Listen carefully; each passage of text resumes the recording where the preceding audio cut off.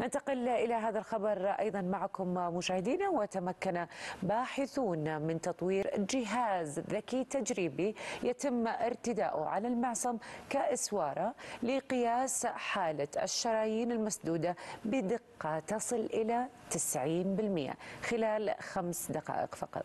كما تستطيع هذه الإسوارة من التحذير من مخاطر النوبات القلبية.